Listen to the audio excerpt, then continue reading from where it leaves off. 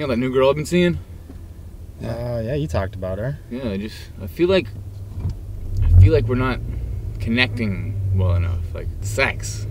Like I feel like it could be more. You guys ever get that with like your girls? Yeah, sometimes. Yeah, sometimes. Yeah, after a while in a relationship, like you're you're not having sex as much as you used to. Yeah, but I feel like ours is pretty new. Well, you know what? I got some advice. If you love her, then it's important to bring this stuff up, especially in the beginning.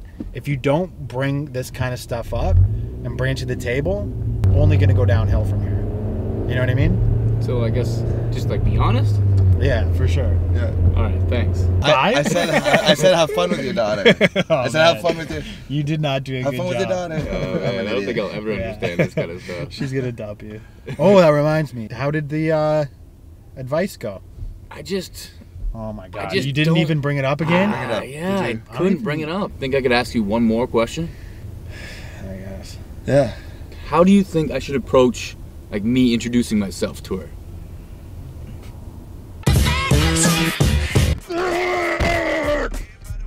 Hey, swipe to the right. Get Swipe to. there. Ooh, I got a message. Okay. Nice. Is she hot? She's pretty dope. Like